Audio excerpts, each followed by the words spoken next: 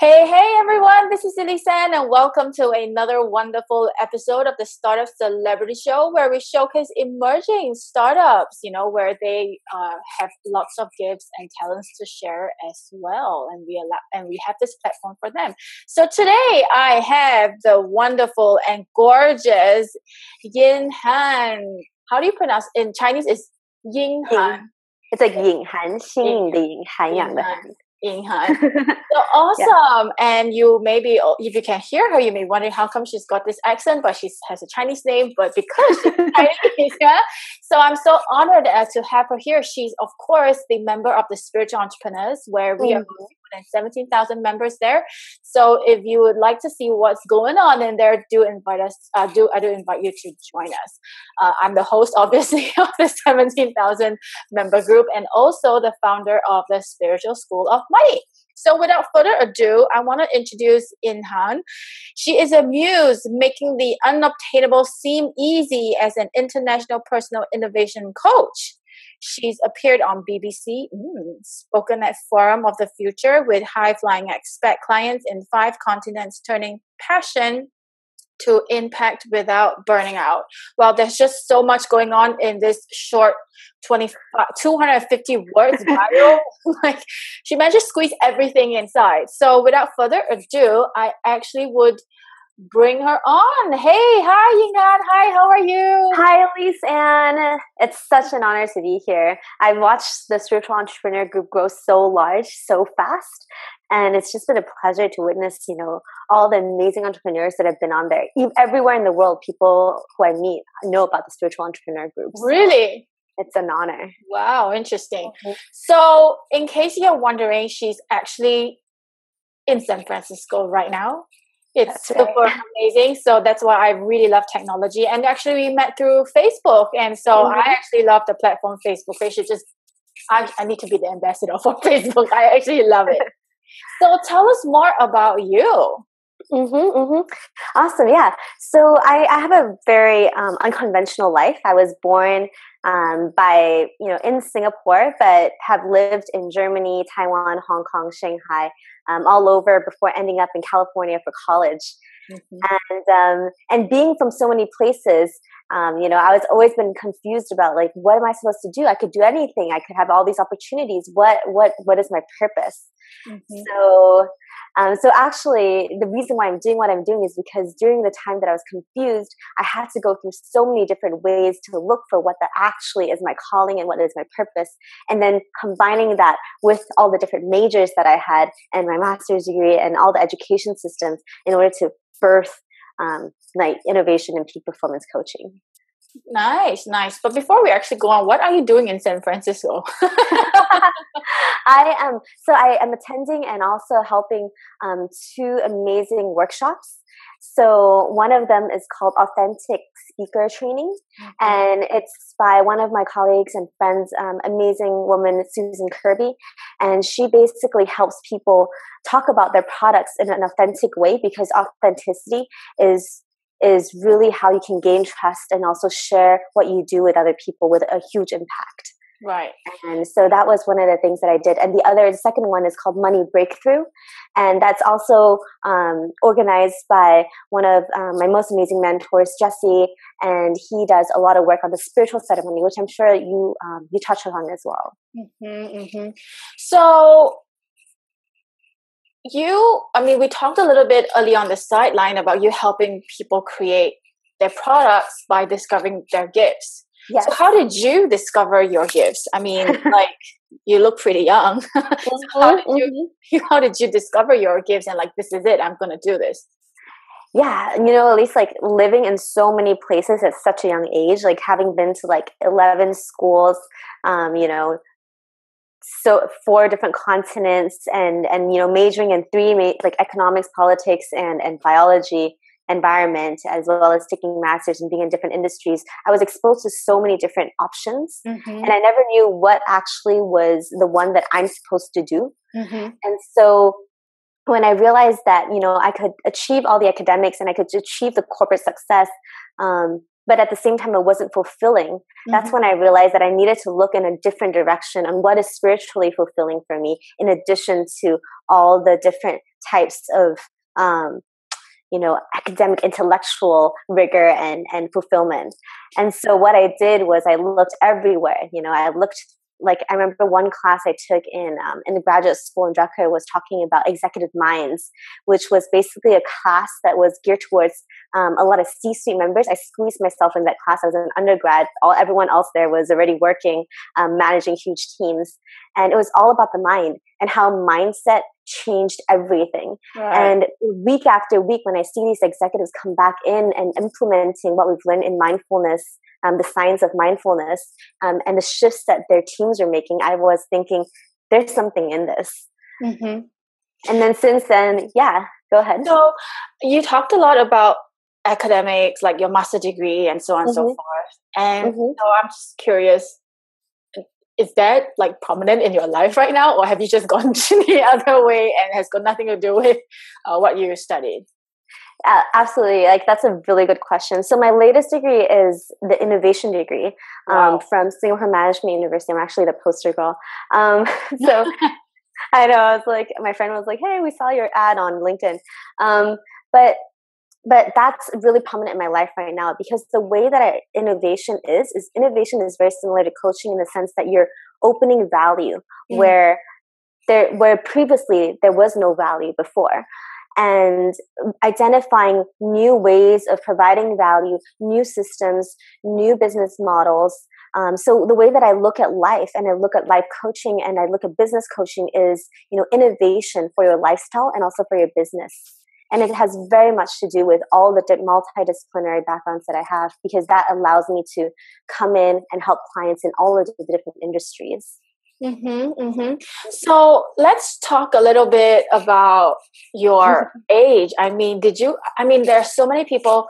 I mean, age is a thing. When they're like 50, like, oh my God, I'm too old. When you're 24, oh my God, I'm too young. Has mm-hmm. age ever been like a factor to stop you from achieving like big dreams? Like, I know the millennials. I mean, you're probably a millennial, right? Like, mm-hmm there, there are two camps of millennials. One are like one is like you know the, you know the Singaporean type, right? Like you know I'll just depend on the mother and the father and just you know, but you're so different.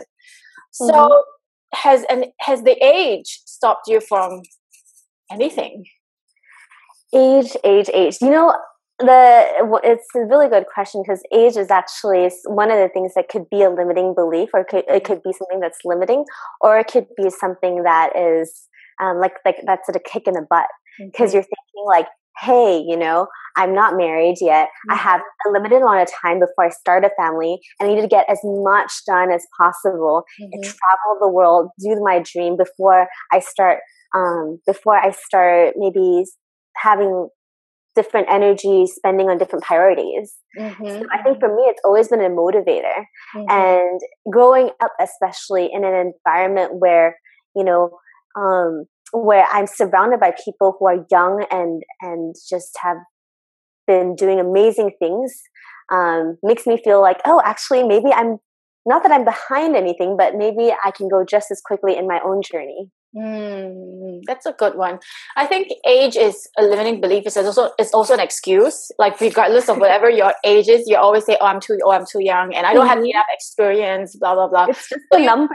Yeah, yeah. So you just stop where you are. So you have a very interesting niche because mm-hmm. it's either people are helping people find what their gifts are, what their purpose is, and then it ends yeah. there.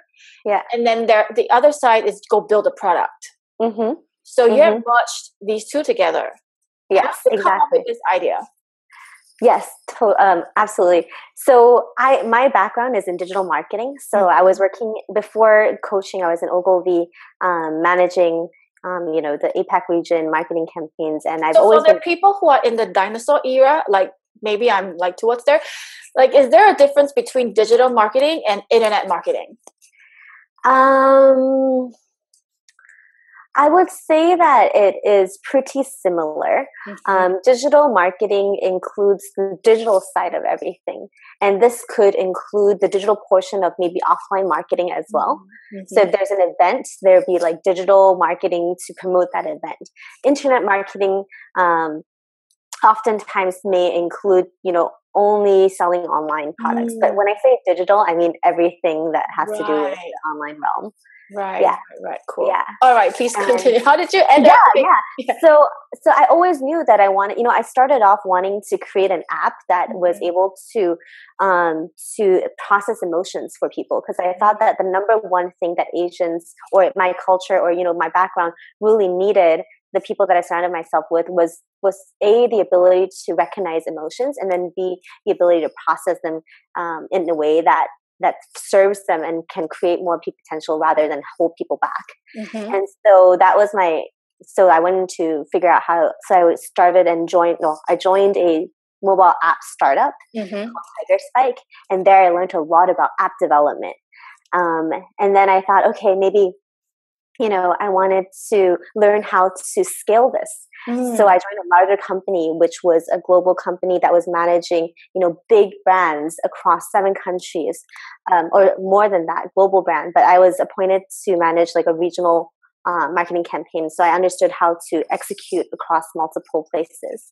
Um, so knowing the digital side is great, um, but then finding what your passion was was also needed in order to use that as a mm. channel to distribute your message. Because I feel, because my belief and my mission is to help people figure out what their message is. Because each person has their own message, has their mm-hmm. own thing they want to share, mm-hmm. and then using channels to share them, to package them and share them. Um, mm-hmm. That's very smart. I mean, like I come from a spiritual background, you know, mm-hmm. it's like really from no business background mm-hmm. and then now just self-taught of course yeah. through coaches and mentors and whatever but literally from in our community like the spiritual woo-woo community it's like yeah. i'm just gonna leave it to god i'm just mm-hmm. gonna leave it to the universe yeah, yeah. so i'm just curious when you look at people like us do you go like but no no there's just no you know what i mean like you know when we did when we I was a healer, right? And how do you yeah. package that? You know, we don't mm-hmm. know how to package that because right. our training just do not does not give us this knowledge. I mean, our background is learn how to heal and go yeah. and just start yeah. healing and do card readings and whatever. Yeah. Right. It wasn't until um, that I got exposed to co- the coaching world or mm-hmm. the entrepreneurship world that I realized there's so many other things you can do to monetize your gifts and passion. Definitely. So what's your what's your um advice for people who are you know really in the woo woo service based where mm-hmm. they're like no i don't need that. What do you have to say to them? Well your people need you. So whatever woo woo business you're in there are people who need what you do and so your job is to really be able to find and be able to be visible to those people that need you and be in front of them.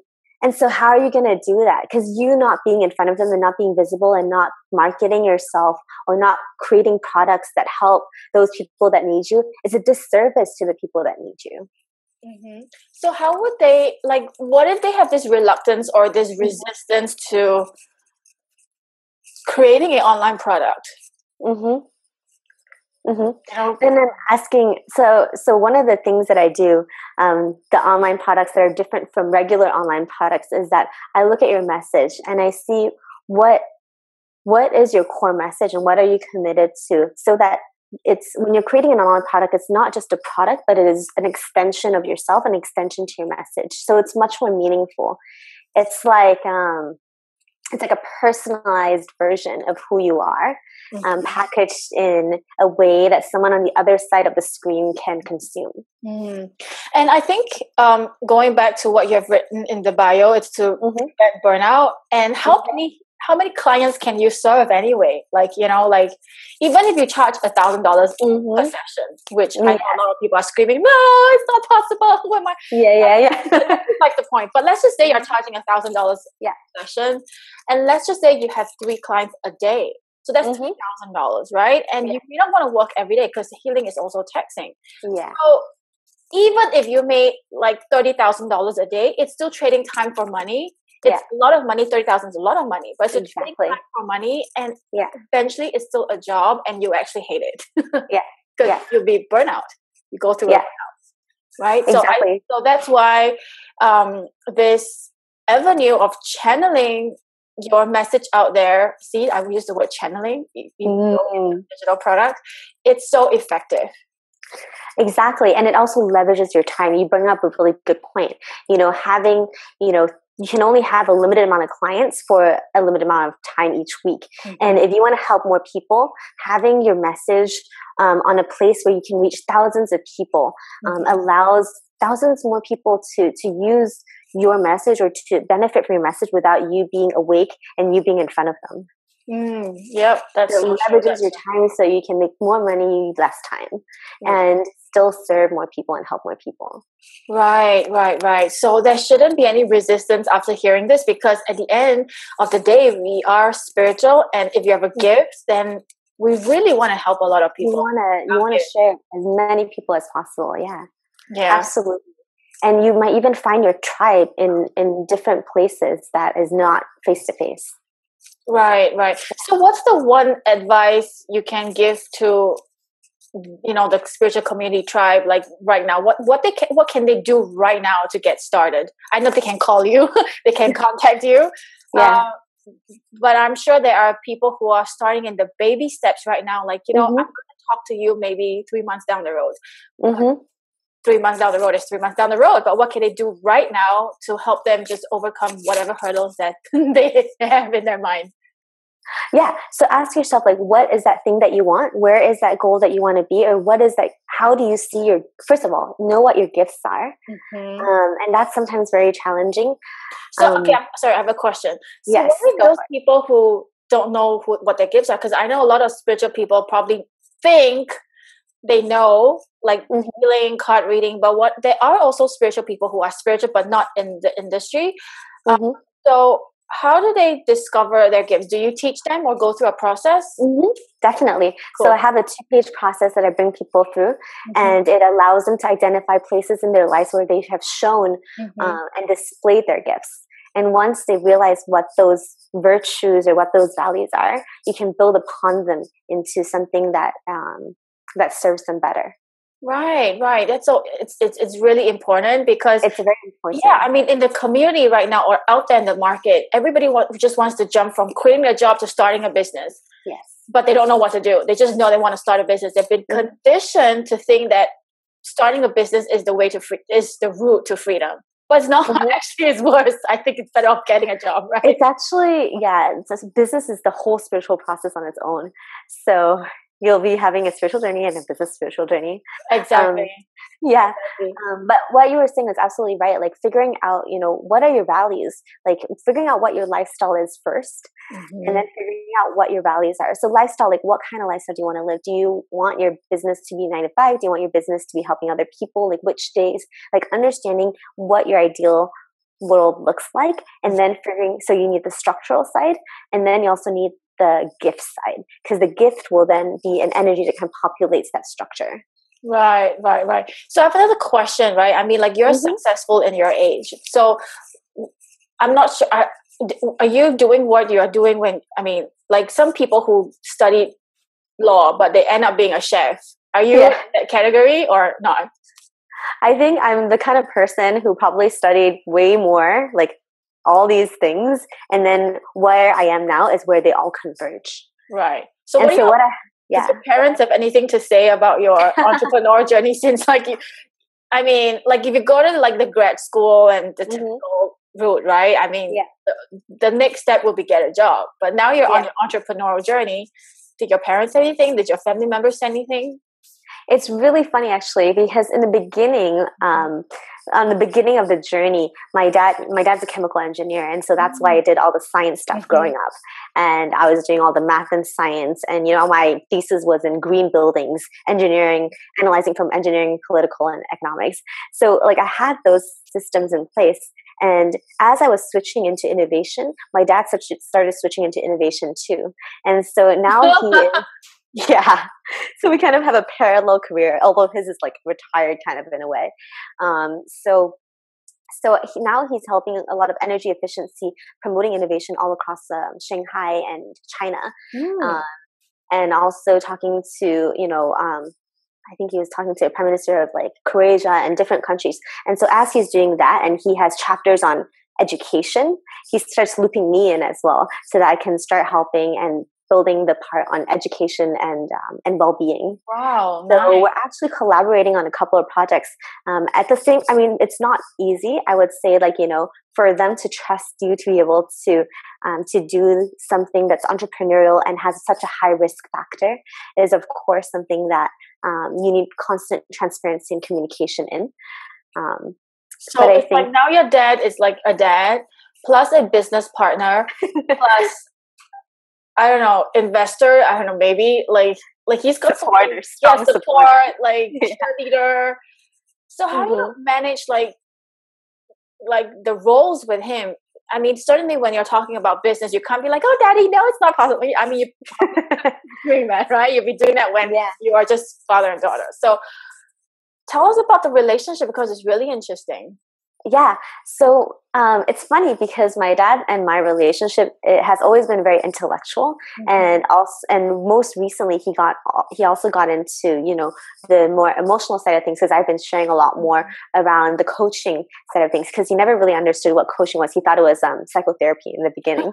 And so i was like no dad this is how it works. And i was like explaining to him. So, so the relationship has gone from um, father daughter, like mm-hmm. authority figure to daughter, mm-hmm. um, to kind of evening out. Um, I kind of broke free for a little while, did my own thing, and then came back and shared with him. And now I feel like we're much more in this realm of, you know, we fill in each other's um, spaces, and it's more like a balanced yin yang relationship uh, which is very pleasurable. And and you know we talk about mom in in a very open manner as well, and, and my sister, and we talk about the familial relationships and how we want to go forward. And so I feel like this is something that I've you know last year.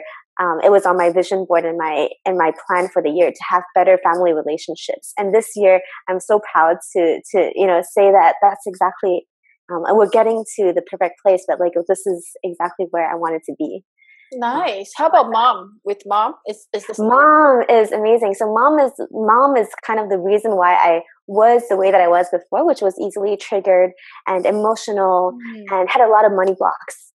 And and so communicating with working through the things that I had to work through and communicating with mom was a very long journey because you know sometimes she says something i get triggered sometimes i do something she gets triggered we mm-hmm. both trigger each other and mm-hmm. it's just mm-hmm. like explosions mm-hmm. um, so working through that was an extremely important journey um, so how um, did you realize that you need to work through your triggers with mom because a lot of us i mean if we're not on the personal development stage yeah. we will just think this is faded mom is just like this you know we'll just have this very awkward relationship for the rest of our life yeah yeah. So, but you're so young. How did you realize that you actually need to get some work done? Was it like so unbearable that like I should have do something? It was like it was an undying commitment to wanting real and genuine connection. Like I, I, you know, I would tell my mom, like, "Hey, mom, like, let's have quality time. Let's have heart to heart." And she's like, "I don't do that. This is like your thing. This is not my thing."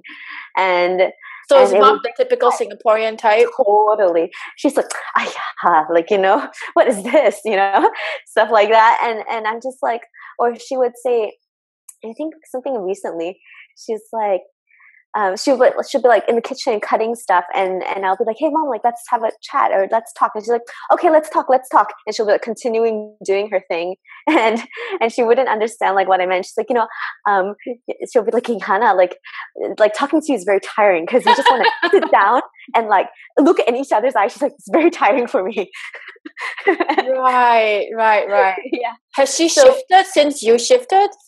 I think like what it is is it takes both adjustments. So mm-hmm. I understand how she likes to be talked to, and I also understand like my way is not obviously the way that you know.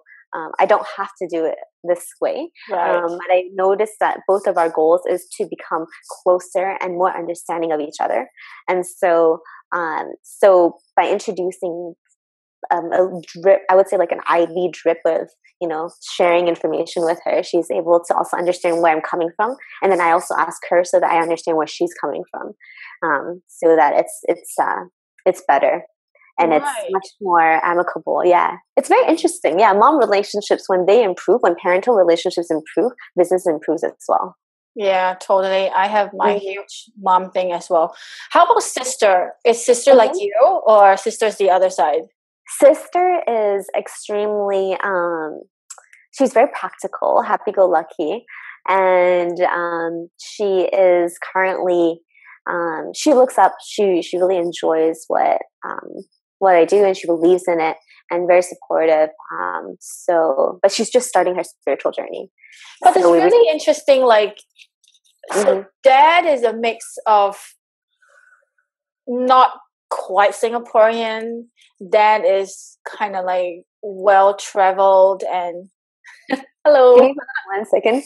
So, as we were saying, um, parental relationship improves, business improves. And I was asking about like how interesting the dynamics of both parents you have like I think that's how both parents are. One is quiet and one is like more open and you know that makes us interesting, right? So how do you mm-hmm. cope with both mom and dad? Um, how do I cope with mom and dad? Like, do you have to play different personas when you're with well, the thing is, my parents live in Shanghai and I live in Singapore. So I haven't lived with my parents for about um, ever since I was like 18. Wow. So, so I usually, I usually have, um, we do group WhatsApp chats and we keep in touch in different ways, but I've been quite independent since. Um, yeah, I was going to say that. I mean, like, yeah, I was going to say that you must be really independent.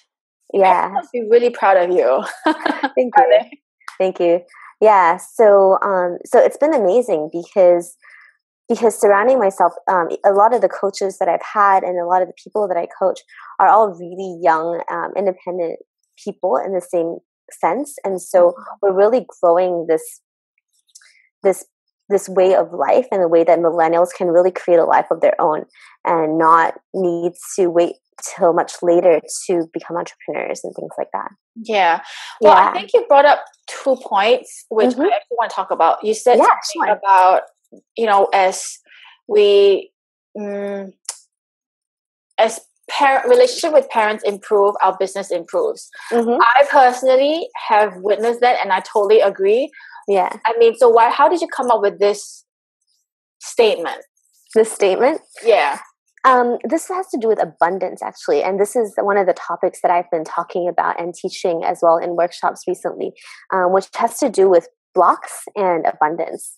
So, um, so the way that abundance works and the way that the energy works in our bodies is that when we have, when energy flows, things go, mm-hmm. and when abundance, when abundance comes, and abundance always coming at you, it can either go right through you and come to you or it can get stuck and and sometimes you know you notice that that um, even if people are offering you gifts or people are giving you things you have this feeling of no i don't want it mm-hmm. and and these but that's so chinese right that's so chinese you know mm-hmm. like when somebody gives you, oh, no, no, no, no, no, no, you know, like, mm-hmm. oh, 不可以,不可以,不可以, you know, like, no means no, 不可以 means no, like, I can't take it. Exactly.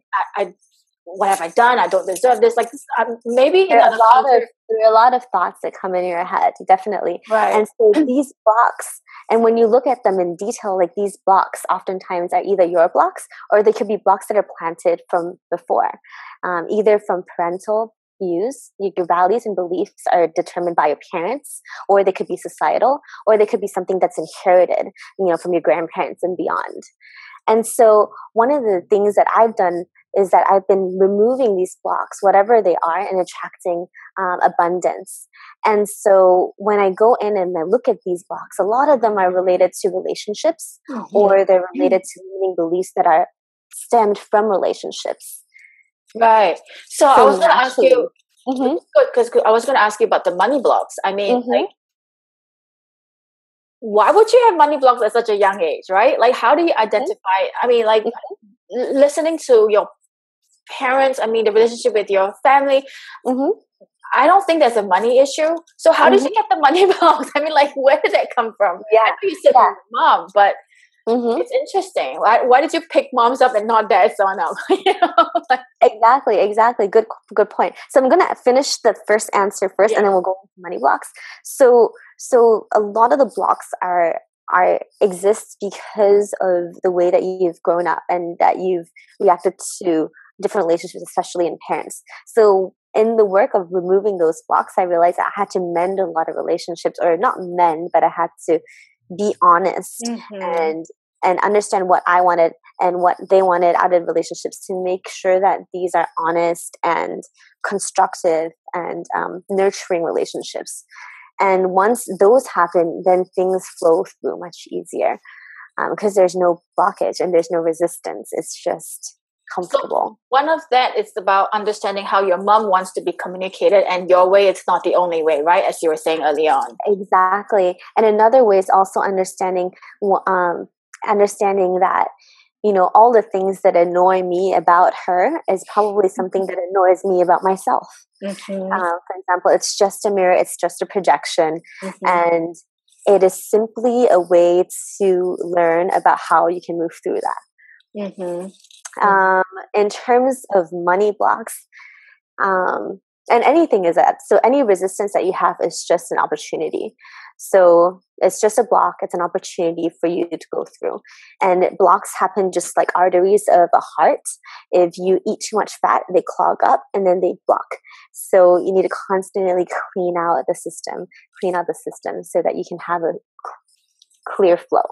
Mm-hmm. Um, for money blocks, um, your question was where did my money blocks come from? I think as an Asian um, culture, we've always been very frugal in the family. Well, we, the family has been always very frugal and counting every cent and dollar. Mm-hmm. Um, and and money blocks are they don't necessarily come from money themselves. Um, it comes from any emotional block because any emotional block could potentially be a block to your abundance. Mm-hmm. Mm-hmm.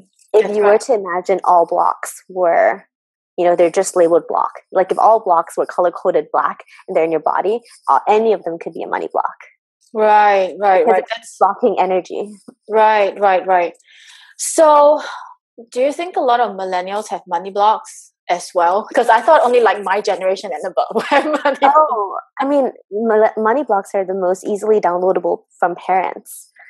Um, so it really depends on how your parents are or how you how you believe um, what you believe in opportunity. Do you believe you're worth it?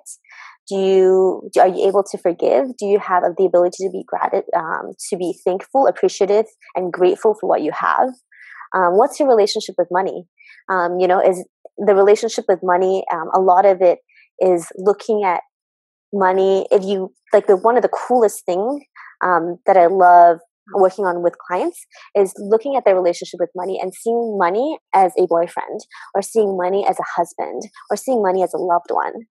Mm-hmm. Are you constantly giving money positive, nurturing, loving attention or are you treating money like like oh oh yeah just just take some just just you know um, oh here's like $20 um, or you crumple it up and put it in your bag like how do you treat it you know and all of that consciousness that you put into it allows for you to have a much more um, enriching experience with it. And it comes to you more because it wants to be with you. Right. Um, so right. from a spiritual sense there's a lot that you can do around that. Of course you know on the other hand there's also the practical side um, understanding how to draw in um, abundance when whenever you want. Mm-hmm, mm-hmm. So, what is, I mean, I think it makes sense to for your work right now because you're helping people create, I mean, discover their gifts and then make money, right? So, if they yes. have any blocks with money, then the system will not flow, even though it's a foolproof system because a system yeah. is a system, right? Mm-hmm. It's the mm-hmm. person that is behind the system that is most mm-hmm. important. Yes. So you've been saying a lot about like this is just a channel, a way to get your message out there, but ultimately yes. Still you. So although like your title is innovation and product and you know like mm. marketing coach, whatever it is, but ultimately there's this human side of it which is your gifts. Like how do you want to leave your thumbprint, as I would always say, in the world? Mm-hmm. Um, and discovering you, like it's really a process um, about being you because the product to create the product is yours is uniquely yours and then yeah. it's about the money because if you don't work even the system is perfect i'm sure mm-hmm. Ying Han will give you a perfect system and if you have any blocks within yourself to receive money, then this system is not going to work for you. So this is so perfect. Like it's up to date. It's it's in uh, it's current up to up to date marketing and it allows you to express yourself spiritually however the way you want it and you know discovering personal developing yourself. And so it's a perfect system. So where can people find you? Mm-hmm. absolutely. They can find me on www.y-age.net and um, and and actually i wanted to also offer um, a special gift um, that I may share with your audience. Sure, go ahead. Yeah, I was thinking like if you guys enjoyed this and if this resonates um, with you and this is something that you'd love to explore, i would love to share more with five people. Um, all you have to do is just email me ying at y-age.net and say you're interested and we'll have a conversation. Sure. Awesome. Beautiful. So if you know that at some point in time that you do not want to serve one-on-one clients all the time and you need mm-hmm. some kind of systems and structures in place to replace you uh, then connect with Ying Han. You know, um, she has given us so much, um, I would say, knowledge and also strategies and tools, if I may say so as well.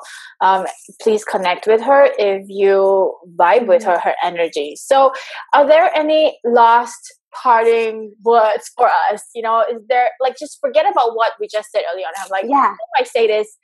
People, people may go, but why did you make us sit for 25 minutes? like, mm-hmm. so, if we forget what we just said earlier yeah. on, what is the one thing that you want people to mm-hmm. remember the most from this? I want them to know that you can dream big. And if there's a vision and if there's a dream that keeps coming to you and you keep pushing it back, it's not a dream, it's a calling. Mm. And you're not going to be happy unless you give that some attention. So give that attention, you know, call Elyse and like talk to people and spiritual entrepreneurs, share that thoughts that you have and get support so that you can get you this off and going because there's so many people just like you who feel this way. Um, and then if you're dreaming too small and if your dream doesn't excite you anymore, it means that it's not big enough. Mm-hmm. And it's usually a nagging sound, right? Like it, it just doesn't yes. go. It's like this. It's not fun. it's like the ego, but it's like I think more irritating than the ego because it just doesn't let you off. Like the ego, if you just talk to it and like, you know what, pacify and it just goes away for like five minutes. But definitely. But this passion, this dream and this purpose, I mean, even if you don't know what you want to do, but there is this sense of something out there is waiting for you something bigger is happening you may not know what is it right now and yeah. so if you want to know what it is i mean Ying Han is somebody that you can talk to to help you discover what exactly you need to do. But right now, if you have this nagging feeling of there's something bigger out there, I need to do something bigger out there, I need to quit my job. Like, I don't know what to do. Like, I don't know what to do, but you know there's something bigger. That's the key. That's the key that whatever that you're doing right now is it has served its purpose and something bigger is waiting for you. Of course, mm-hmm. you'll be scared, but if you're in the right community, like like Ying Han, you know, she's there to support you, then there's absolutely no reason why it cannot become a reality for you. So once again, where can we find you again? You can find me, you can email me, find me at ying at y-age.net. Um, so you can email me on y, ying at y-age.net or you can just go to y-age.net to find out more. Sure, that's beautiful. Mm-hmm. So thank you, Ying Han, for joining us today. I know it's like what six thirty dinner time for you in San Francisco. so thank you so much for mm-hmm. your presence. Thank you so much for being such a wonderful member in the spiritual community as well. So if you are interested, because this thing that I decided to do the spiritual show, I mean the startup show is um it's only available to the members. So if you mm-hmm. want to find out mm-hmm. more about uh, what I do and what Ying Han do and the rest of the people do, go ahead and get your bum bums over there. Go to Facebook and search for the spiritual entrepreneurs. Uh, you see my face there and request to join. All right. So thank you so Absolutely. Much. Thank you so much, Elyse. Um, this has been such an amazing experience. And just watching you and seeing what you've done for the community is inspiring. And I really appreciate your leadership and, and your presence. Thank you so much for those lovely words. Thank you. Thank you. it's, it's amazing. How many people are there? 15,000, 17,000? 17,000 now it's just amazing. Yeah. Awesome. So um, this is like a testimonial of like women can support other women. We don't have to be bitching and like backstabbing people all the time. And I think as and I truly strongly believe when women collaborate and connect, you know, drop the money because seriously, you know, I think the number one reason why your business exists is to make money. So if you're thinking about money all the time, then of course you're not going to be happy even when you get it. But doing this, hosting these shows really completely lights me up. I mean, it's free, but I want to give back. And, you know, if I didn't do these shows, you would not know these little gems that are hidden in the community and they wouldn't become, they wouldn't step forward as well. So it's mm-hmm. truly amazing. It's double blessing for all of us. So stay tuned for another episode. I'm sure uh, you would uh, enjoy that as well. And so in the meantime, you take care and I'll talk to you soon, all right? All right. Thank you. See you guys. Bye.